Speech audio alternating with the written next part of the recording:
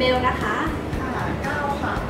ค่ะวันนี้นะคะเราจะมาสอนทำสูตรชุดฟองของร้านเคมีพันเรานะคะ วันนี้เราจะมาทำสูตรแชมพูล้างรถค่ะ ซึ่งแชมพูล้างรถเนี่ยทุกคนเนี่ยสามารถซื้อสารจากเราเนี่ย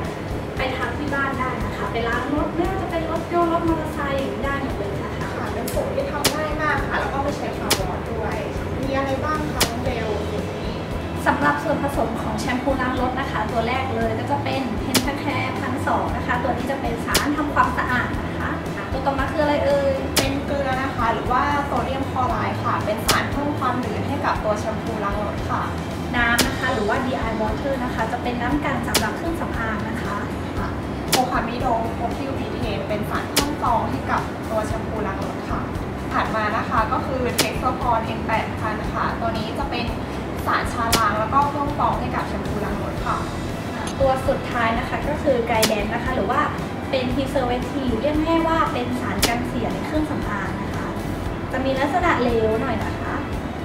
นี่ค่ะนี่นะคะเราจะมาเริ่มท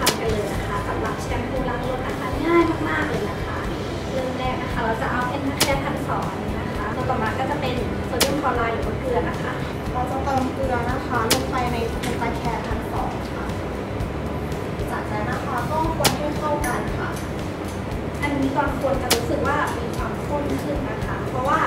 โซเดียมคลอไรด์หรือว่าเกลือเนี่ยเป็นสารปรับเนื้อข้นนะคะ เราจะคนจนกว่าโซเดียมคลอไรด์เนี่ยละลายหมดแล้วนะคะ หลังจากที่คนให้เข้ากันแล้วนะคะ เราจะเติมทานนี้นะคะลงไปในน้ำที่เตรียมไว้นะคะ นี่อาจจะเทยากหน่อยนะคะ เพราะว่ามันมีค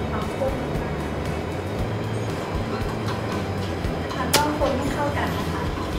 จะใช้ตัวคามิโดโคพิวบีเทนะคะ ผสมกับเทสพอร N8,000 นะคะ